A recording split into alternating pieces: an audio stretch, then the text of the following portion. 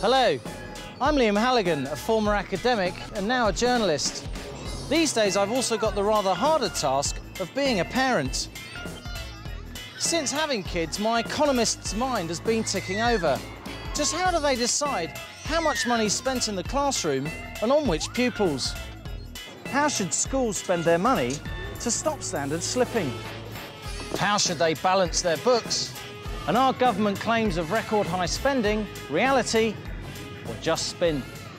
Yes, resources do matter, um, but probably only to a limited extent and certainly to a lesser extent than other factors that determine children's educational attainment. You go to some schools and they say, wow, we've got more money we've ever had before, it's fantastic, the teachers are, you know.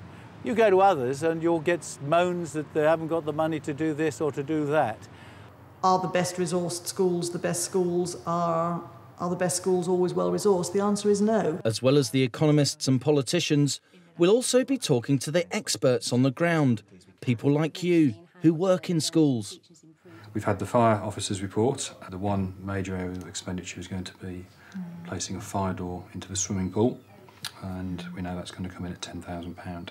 And we'll be slicing up the national education cake and serving up the crumbs left for the classroom. Spend it wisely. Wow. Fantastic. Now, your school may have one of these a money tree to provide an endless supply of cash for everything that you and your pupils need. But if you haven't got a money tree in your grounds, I'm afraid you're going to have to rely on the generosity of the government. The government, of course, doesn't have a money tree either, but it's got the next best thing taxes. Education, like all the other public services, has to vie for its share from the national coffers. Barry Sheerman, as chairman of the Education Select Committee, has the job of scrutinising what's spent on schools. Does the Education Secretary knock on the Chancellor's door and say, I need so many billion quid? How does it work? Well, I think uh, he or she actually um, crawls there on, on their knees and then knocks, to be truthful, because, you know, the Treasury is enormously powerful and, of course, what they say goes, and their remit is to keep a very close eye on spending in every department. So, the Department for Education gets its money from the Treasury, but how does that cash make its way to the classroom? To find out, I'm off to Birmingham, the UK's second city and the country's biggest local authority. And in particular, I've come here to College High School in the Erdington district of the city. Now, there's a good reason I've come to this school, but more of that later, because right now, I've got some baking to do.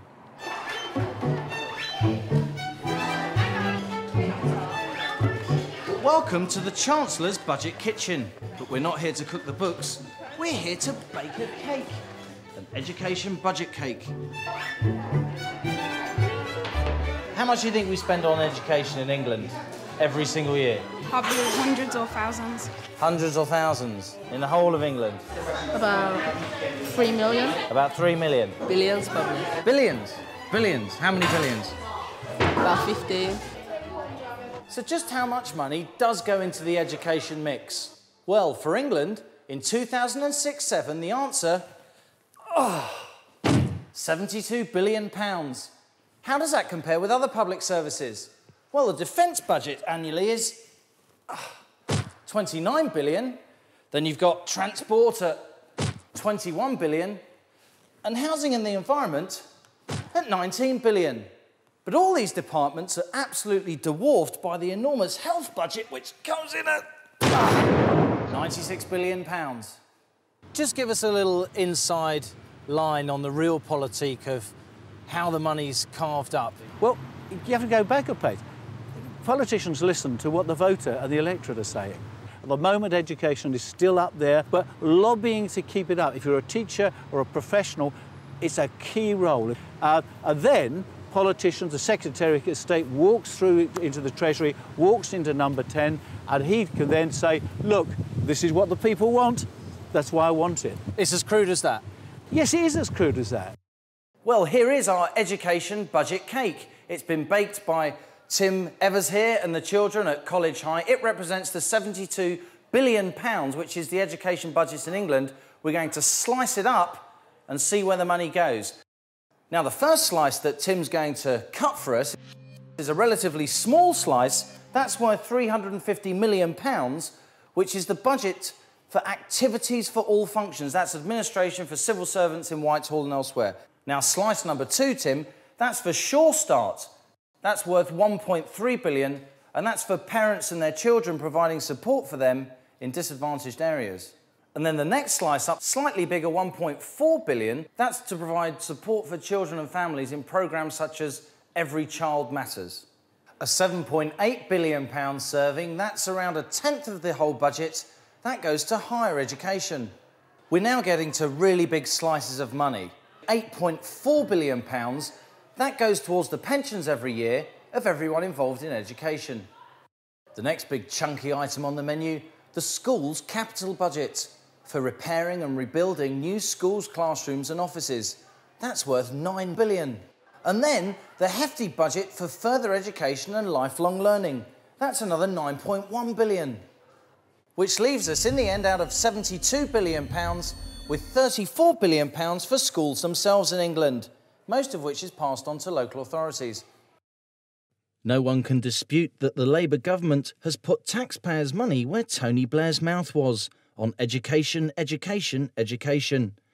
The budget for education in England increased by nearly 50% between 2000 and 2005.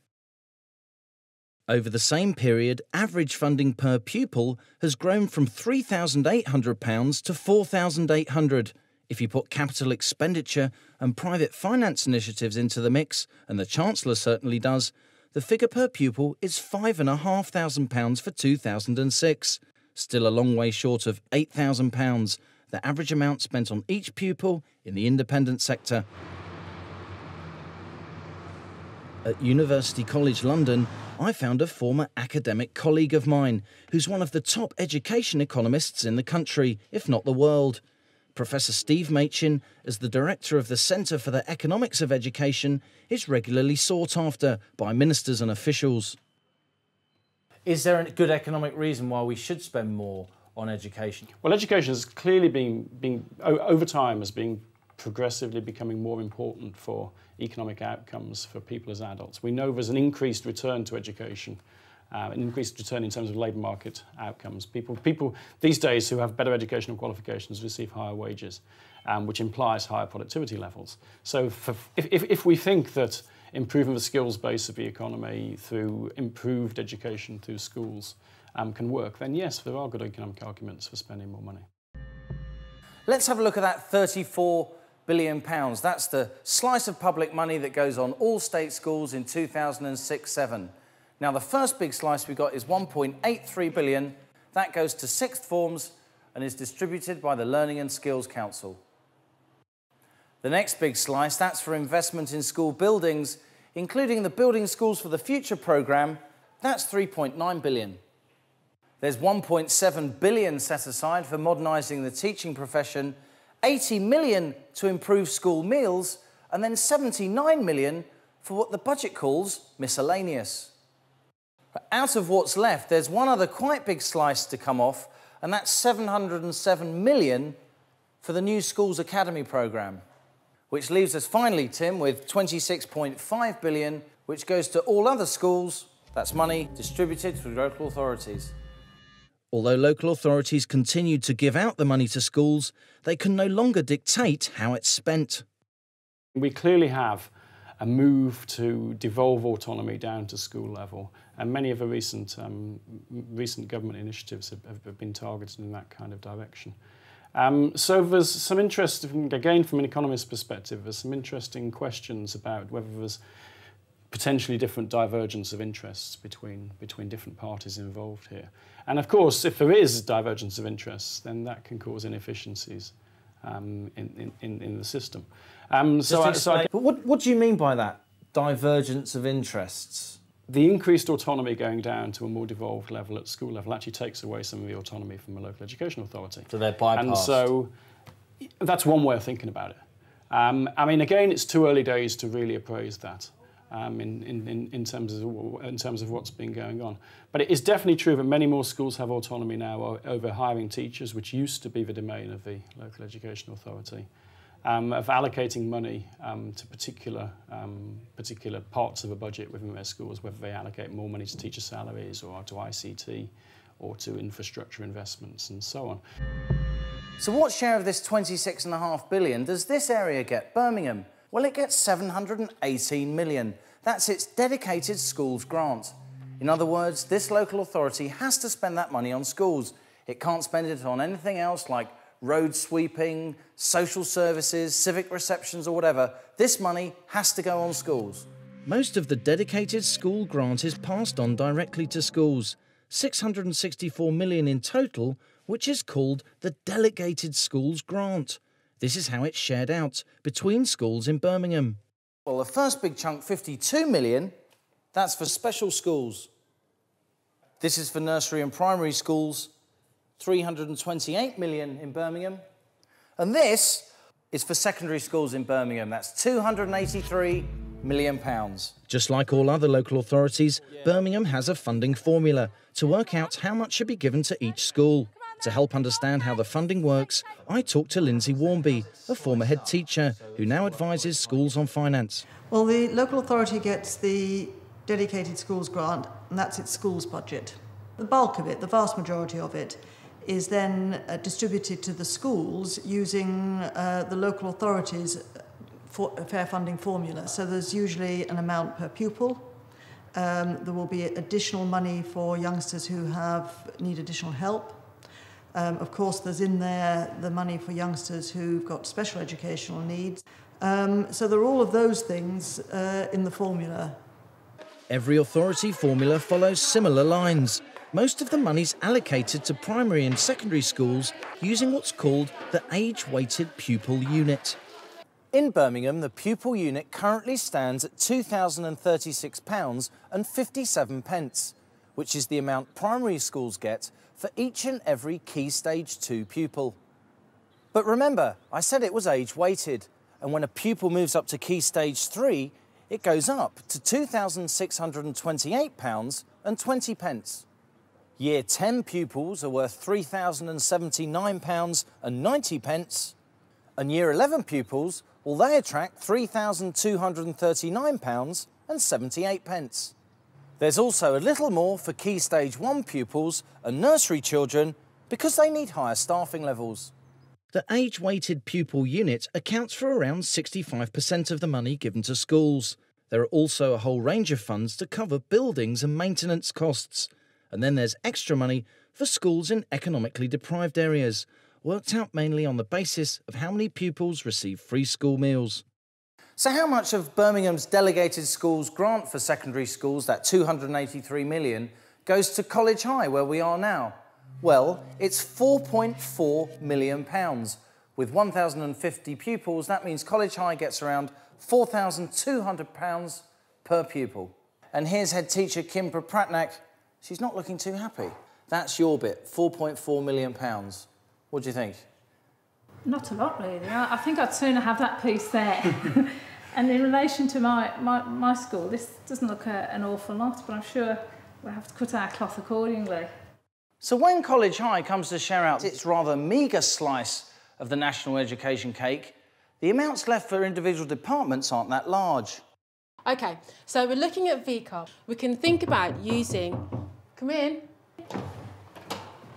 Hi, you Sharon Green, Head of English. I've got your piece of our education budget cake. Here's your £6,215 to run your department for a year. Spend it wisely. Wow. Fantastic. What would you do if you did have a bit more cash to, to spend on the class? We spend it on more innovations, I think, and doing things outside of the uh, essential requirements. So plays, Theatre trips, new, uh, new teaching resources to kind of broaden the breadth and scope of our teaching as well. Hello there. Hello, you Mr. Khan? I am. I'm Liam. This is Nice uh, the crumbs. £6,700 from our education cake. It's the maths department share. It literally is crumbs. Do you find you've got a shortage of money, or do you think that there's enough money going around? There around? certainly isn't enough money now. We need, uh, we need a lot more resources. We need, to, we need to give these kids what they deserve. Do you think enough money's being spent in this school? Do you... See, it's spent on more like things to go outdoor, more trips to Shakespeare, etc. Science, you could have more better departments, like more practicals.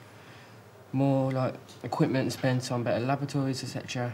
What does it mean to you when your school can do those extra things like practicals, like trips?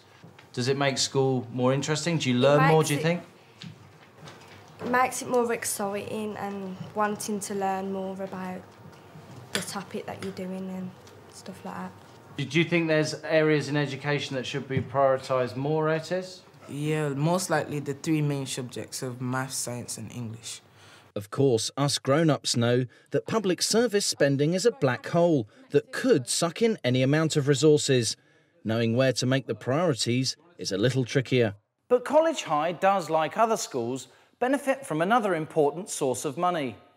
You'll remember Birmingham received £718 million in the dedicated school grant, and we've distributed that via the delegated budget here.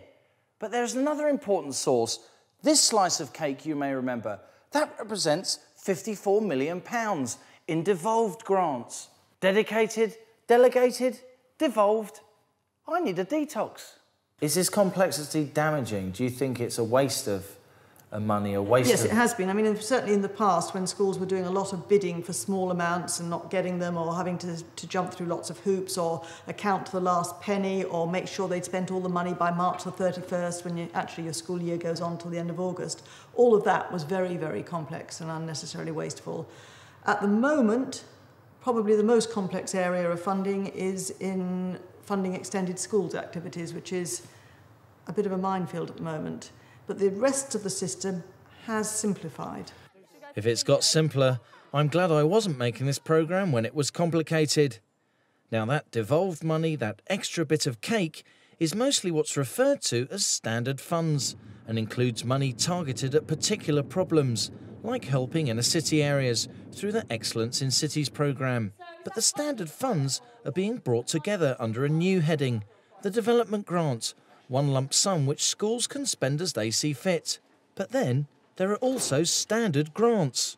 So that makes it simple, doesn't it? These standard grants are in effect one off gifts from the Chancellor. You've probably seen him on Budget Day saying he's found a few billion quid down the back of the nation's sofa, so he's going to give it directly to schools.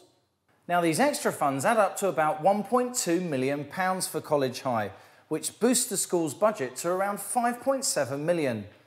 That means the school now has around £5,400 per pupil for the financial year 2006-7. How important is this extra money? This is extremely important because this is the money that enables us to buy additional furniture. This enables us to buy the heating that actually warms the examination hall for my pupils. It enables us to actually uh, buy the fencing that makes my school secure. So this, the devolved capital, is really, really important for us as a school. So let's look in a little more detail at where the money goes at College High by moving from cake to liquid refreshment.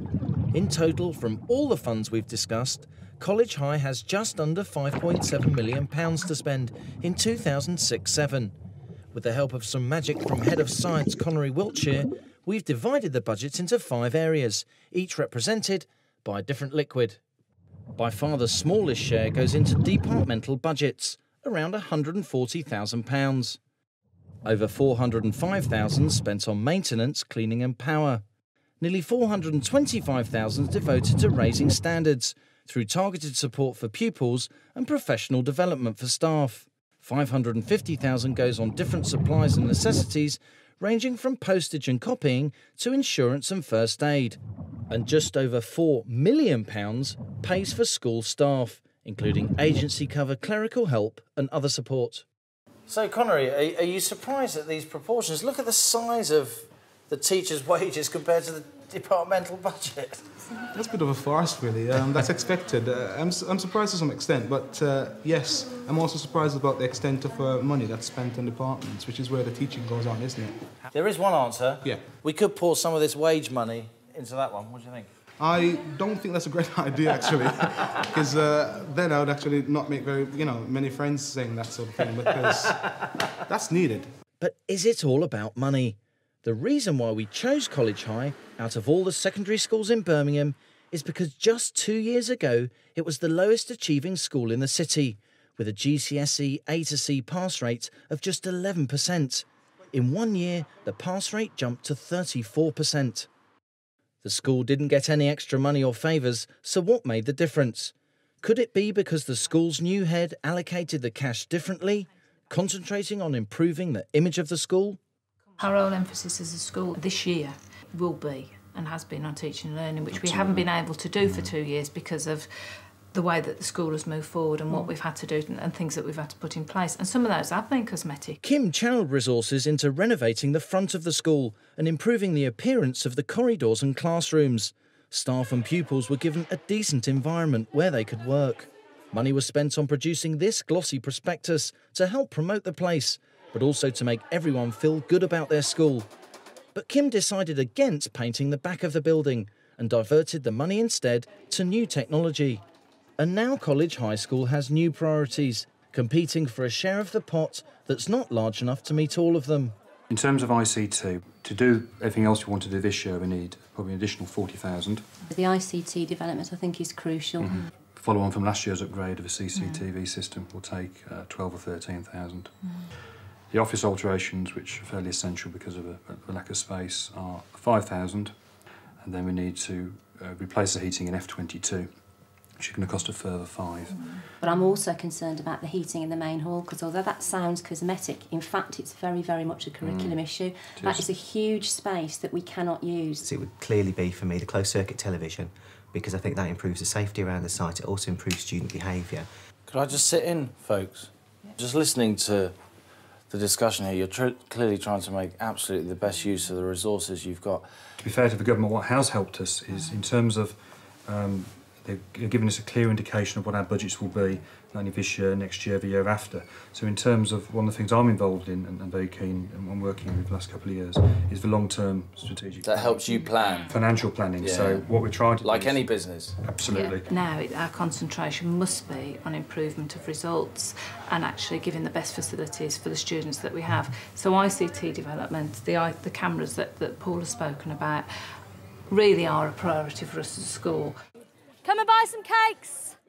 But what do you do when your budget won't pay for everything you want for your pupils? Of course, you can write very nice letters to parents and appeal to the generosity and the appetites of the pupils themselves. No one knows exactly how much is raised across the country by way of voluntary contributions to supplement school budgets, but it can make all the difference. 30p for a cake, three for a pound or 30p. This is Head of Geography Laura Chin. She wants to take a group of pupils on a field trip they'll never forget. Actually, they're not bad. 30 pence each or three for a pound. you should be in marketing. We're raising money for a geography trip to Iceland with um, 17 GCSE geography students, and we've got to raise £4,000 to get them to go. You know, just because you're born on this side of the, of the Chester Road or this side of Birmingham, it doesn't mean you're not entitled to the same educational opportunities as other pupils are. A lot our pupils From will- leafier, more Yeah, prosperous areas. Exactly. They will, our pupils, they will go on to achieve 10 A star to C grades. So just because they go to this school or just because they're from this area, they, they deserve the same opportunities. I'm not saying that, you know, there are vast pots of money for the leafier suburbs. I'm sure that's not the case. But our schools, our school is disadvantaged. If you're gonna go, then I don't mind putting some contribution towards it, but it is quite a large amount to do by yourself. So it would be helpful if somebody else gave some money as well. How's your fundraising going? Um, my mum and dad are paying for mine, but um, my mum said I've got to get some of it myself, but I think she'll pay for it. According to The Economists, it's support from mum and dad and family background that are still the most crucial factors in influencing a child's educational achievements. It certainly isn't all about money, in the sense that the most important determinant of children's educational attainment is actually not the school. It's actually the home and family background that they tend that they experience themselves. Now, within the school context, sure, there is evidence that increased resources can improve educational attainment, but it's very clear that if you spend more money on something, it has to be cost effective. So, what's the experts' advice on making those cost effective decisions and raising standards?